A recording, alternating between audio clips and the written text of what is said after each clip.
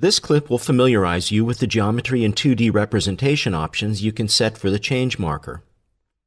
The Change tool offers multiple geometry settings related to both the change cloud and the change marker head.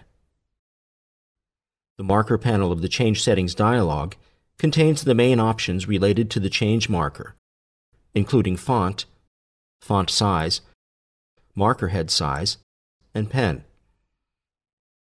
The preview picture of the change marker is located on the right side of the panel. Below the preview picture, the three component options of Cloud Only, Cloud, and Marker Head and Marker Head Only are available.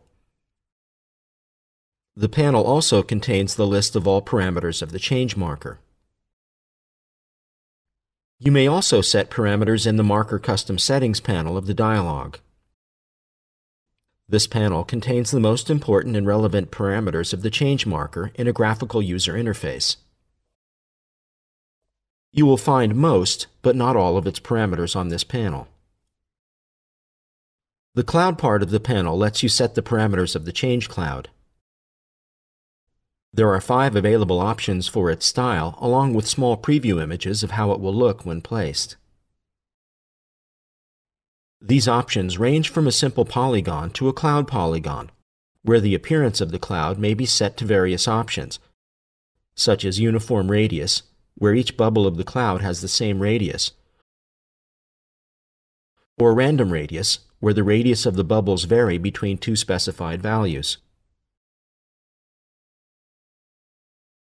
You may also toggle the display of a background fill for the cloud, in which case you can set fill type as well as fill pattern and fill background pens for it. For this to display using the specified pens, you need to check the Use Symbol Colors checkbox in the marker panel. The marker head part of the panel lets you set the parameters of the change marker head. Here again, you may select from about a dozen available graphical representation options, ranging from no graphics, in which case there will be no graphical marker head generated, to a simple line, and to various simple geometric shapes such as triangle, circle, diamond, etc. You may also change the orientation of the marker head text to vertical with the vertical text checkbox. A background may be set for the marker head as well, in which case you can set fill type as well as fill pattern and fill background pens for it. Please note that some of the 2D representation settings for the cloud and marker head are found only in the parameter list.